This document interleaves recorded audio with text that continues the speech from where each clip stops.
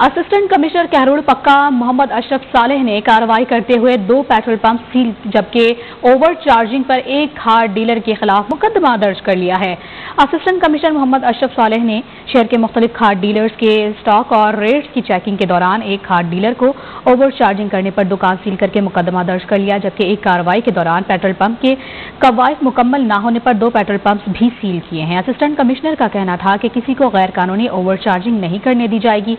हुकूमत पंजाब के अहकाम पर मुकम्मल अमल दरामद करवाया जाएगा।